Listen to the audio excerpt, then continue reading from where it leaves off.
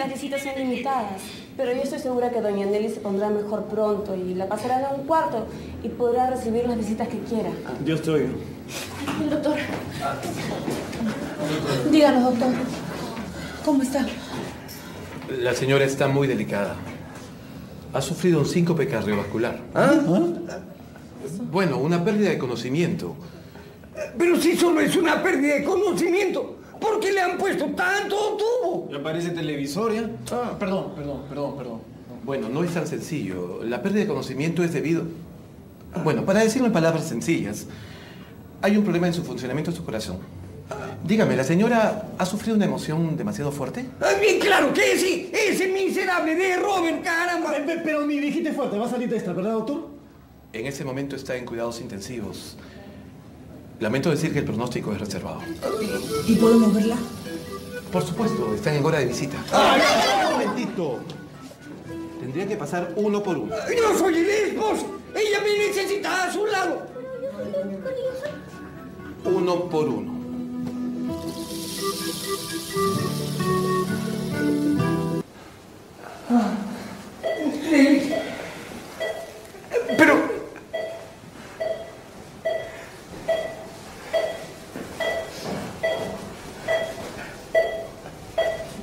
Nelicita. Qué pena me da verte así. Con tanto aparato. Y con tanto tubito. Diosito, por favor. Apiádate de mí, no te la lleves. Estos aparatos raros que no los entiendo. Nelicita, lo único que me acuerdo es que una vez vi en televisión que cuando aparecía una línea y se oía pip, era que se moría. No, Nelicita, no, por favor. Nelly, Nelly. Ay, Diosito.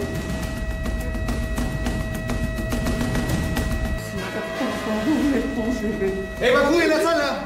¿Qué le van a hacer? Por favor, señor, espere afuera. A la cuenta de tres, vamos. Un, dos, tres. No responde. No podemos perderla. Vamos de nuevo. Nelicita, por favor, vuelve. Tu Gilbertito te necesita. Por favor, que desocupe la sala. Señor, por favor, espere afuera. Es que si ella se va, yo me voy con ella. Señorita,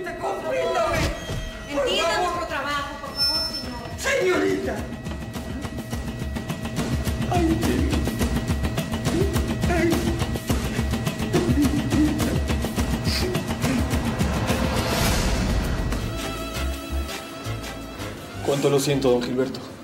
No seas mal agüero. Mi mujer no se ha afinado todavía.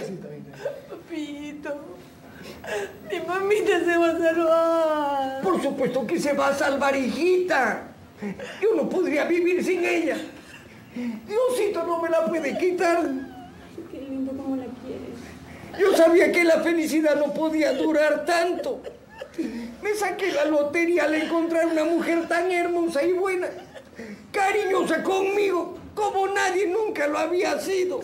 Ay, don Gilberto, usted sí que lleva la belleza en el alma. ¡Doctor! ¿Cómo está, doctor? ¿Se murió mi mamá?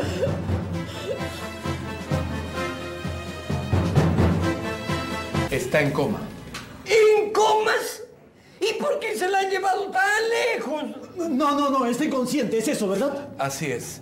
Logramos salvarle la vida, pero entró en estado de coma. ¿Y cuándo despertará? No lo podemos saber. Santísima Cruz de Montupe. Pueden ser horas, pueden ser días. O meses, o años, o nunca. No dije nada. Pobrecita mi mamita. Solo nos queda esperar. Sé que esto es muy duro para ustedes, pero permítame recordarle que los gastos de esta clínica no son baratos. Y si ustedes desean, pueden pasarla a un hospital. Mañana mismo puedo organizarlo todo. Eh, Por eso no se preocupe. Ya dejé mi tarjeta de crédito en garantía. Entonces no va a haber ningún problema.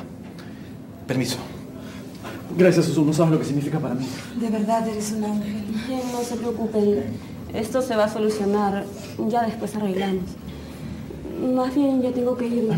Te acompaño en la salida. Por favor, ¿creen que me puedan jalar? Es que con todo este trajín de mi abuelita. Yo en mi estado necesito reposo. Anda nomás, Verónica. No necesitas pretextos. Gracias. Eh, vamos, Joel. Ah. ¿Joel? Joel es mi casi marido. Mamá, ¿no me necesitan acá? No, hijo. Anda nomás con tu casi mujer. ¿Alguien más? Sí, puedes llevar a Jaimito, por favor, amiga. Sí, claro. Eh, yo voy a sacar el micro, no podemos perder ni un día. Sí, ahora más que nunca necesitamos chambear. Tú quédate, yo voy. A ver, papi. Mi mamita se va a poner bien. ¿Sabes qué, hijita? Recuerdo lo que me dijo.